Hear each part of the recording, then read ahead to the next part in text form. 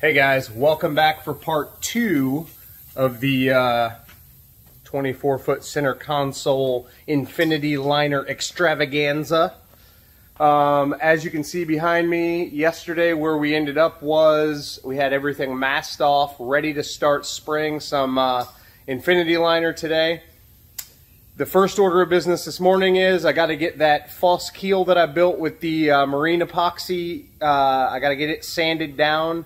Uh, and then after that, I'm going to wipe the whole belly with uh, acetone. And then I'm going to, it's already been pre-sanded. He already sanded the whole boat. Um, so there's a couple of areas that I'm going to touch up. And then I'm going to go ahead and acetone the whole belly. And then we're just going to, I'm going to hit it with the adhesion promoter. Uh, the Infinity adhesion, adhesion promoter, and then uh, after that, we'll start spraying some ice blue Awlgrip colored um, infinity liner. So let's get to it. All right, so had to make a little station to work and mix today. Um, as you see, the keel is looking good, but I gotta get it sanded down. So I'm gonna go ahead and take a lot of that uh, roughness out. I'm not gonna get it perfect, it's the belly of the boat. And then I'm just gonna move on forward pretty fast. So I'll be back and show you what's going on uh, after I get a couple of those steps taken care of. So I'll be right back. All right. I got the false keel sanded. You'll notice I didn't try to get rid of all of the texture I think it adds a little bit of character I do not believe that any of that in fact I've never heard of any issues of all the times that I've done a belly of a boat or even this false keel, many, many times I've done this false keel. Nobody's ever reported any kind of um, mile, per, mile per gallon drop. They haven't reported any speed decrease, none of that. So we're not adding any uh, friction um, or drag per se when we're adding this, even leaving a little bit of texture there. Um, but also, as we do the belly, I'm going to show you, I'm going to apply Infinity Liner uh, almost flat, just a little bit of texture on the bottom, and we're going to go heavier on the texture on the, uh, on the deck parts. So I got everything sanded down, just knocked all the burrs and that kind of thing, smoothed it out a little bit with uh, 80 grit, and now it's ready to get prepped uh, and I'll start spraying. So uh, I gotta put down some drop cloths so I don't damage this guy's concrete.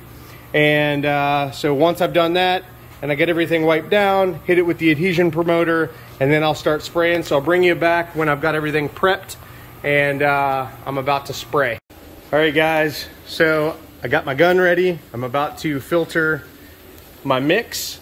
And so basically I've got the uh, infinity liner, uh, and the tint, and I have a little bit of medium reducer in there, and it has the hardener in there. So everything's blended up. Now I just need to strain it, and then I'll start doing some testing over here. So I'll bring you back when I've got something done. All right, guys, I have officially sprayed one solid coat of the ice blue. You can't really tell in here that it's ice blue, but it, I've got a whole gallon on this so far.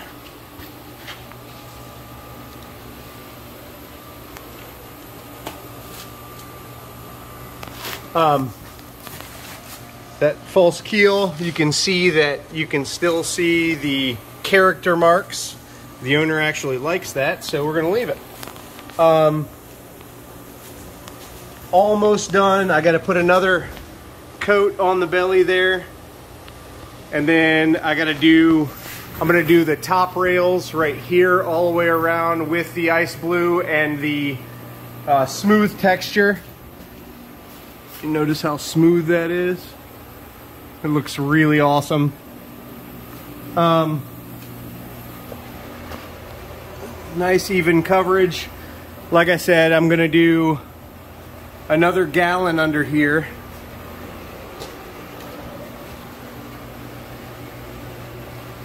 but that is the ice blue and I'm gonna have to do all of these parts and that console as well as that console and the gunnels.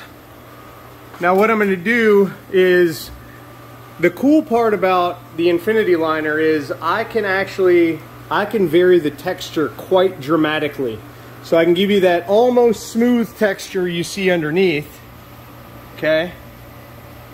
Almost smooth. It's grainy for sure. It's like having, you know, just a rougher surface than smooth, but it is not a heavily texturized surface like uh, traditional liner um, finishes are. And so I've got, got a gallon left to spray on the belly, and then we're gonna come in here with the regular um, liner gun, and I'm gonna shoot the gunnels with the texture. Um, I'm gonna try to use the HPLV gun to shoot unreduced infinity liner uh, out of it and see if I can coat the consoles with just a thicker texture than this, but not full-blown texture. So that's the plan. All right, I gotta go ahead and uh, mix up some more liner and get back to work. I started doing this top rail in the front, but I don't really have a lot of room, so I gotta figure that out right now. But that's the plan, and I'll be back to show you more once I get more done, but it is coming out awesome so far. All right, guys, this is the final part of day two. I got the center console all coated.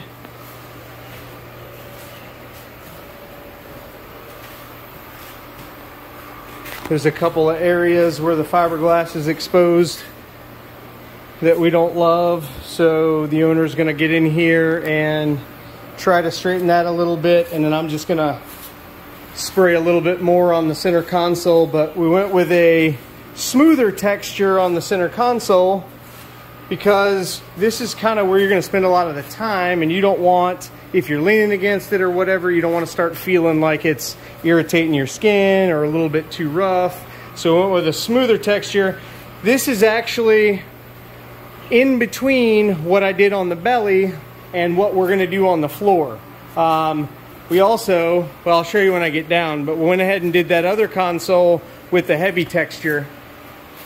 Um, I did this whole edge. I just pulled the tape in the ice blue. So we did a medium texture on the full edge.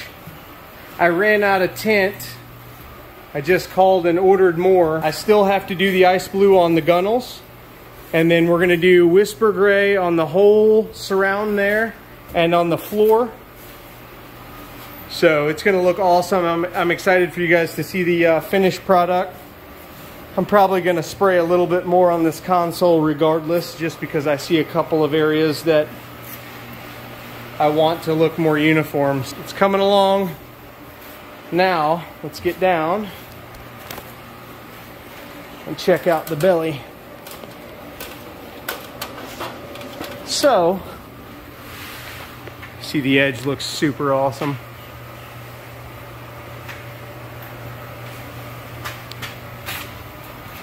All right, I got semi-flat and get a little light where I can show you guys. See how, I don't know if you can tell how non-texturized this is. But got that super awesome, strong false keel there. I mean, I layered and layered and layered the marine epoxy made it super strong. He put a couple layers of 1708 underneath it to make it strong. So the belly looks good. There's a couple of areas where there were stands that we moved. So this one's currently holding it up. I actually sprayed under there. But when I come back for part three, I've got to just tape up the hull and then I'm going to hit that section. There's a section up front right there. And then this section here, but looks awesome. So super smooth texture compared to texturized undercoating or liner spray, whatever. Where you see now, uh, we went with a more texturized coating for, uh, more texturized finish for this console. You can see the dramatic difference between that texture and that texture.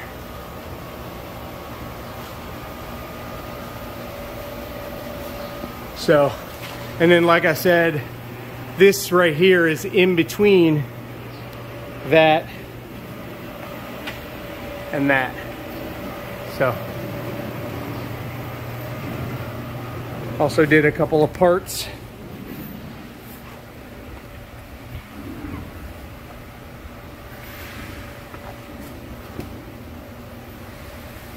Those look nice. I've got to do those plates, the sections underneath, and the gunnels. If I hadn't run out of paint, I'd be doing the rest of it now. All right, guys, thank you so much for uh, watching these videos.